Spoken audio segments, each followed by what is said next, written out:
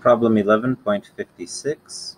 We have a person doing a long jump, and in order to uh, compensate for the forward rotation of the body that would occur, uh, evidently one rotates one's arms to try and uh, to you know create uh, an angular uh, a change in the angular momentum that counteracts that. And so we're given some information about in a certain amount of time one arm goes through a half a revolution and the other through one revolution in opposite directions. And we're supposed to treat each one as a four kilogram mass, uh, a thin rod of four kilograms in mass and a length of 0.6 meters, rotating about its end.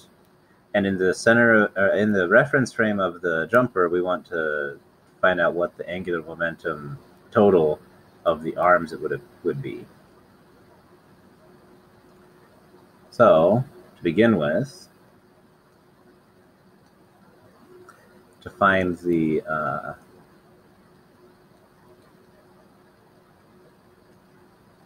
uh, we need, need to find the angular speeds of either arm. So the one that makes half a revolution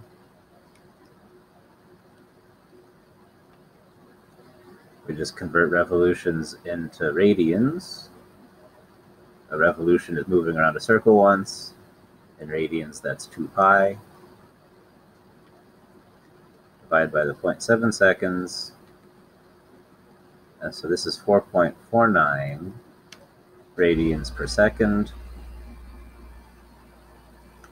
And in a similar way, we find that omega 2 is equal to 8.98 radians per second.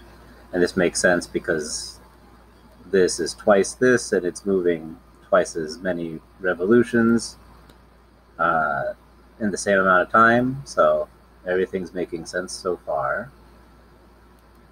Now the angular momentum of either arm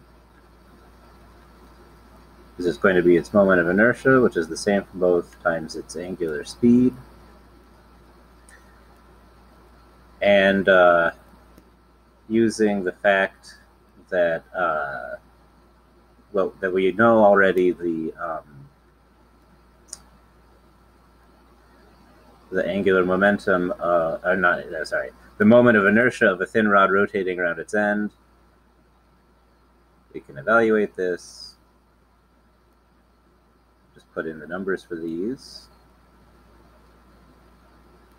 We get 6.46 kilogram meters squared per second.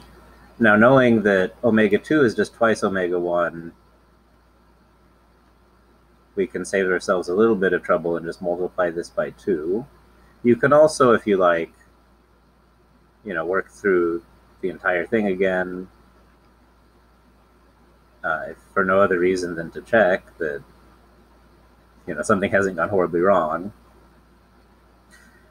But in any event, we have these two angular momenta, and now the total is going to be the sum of those.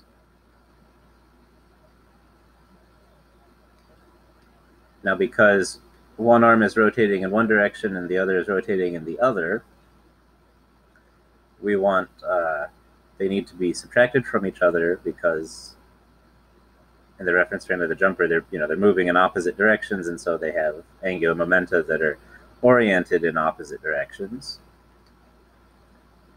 So the total angular momentum is going to be 6.46 kilogram meters squared per second.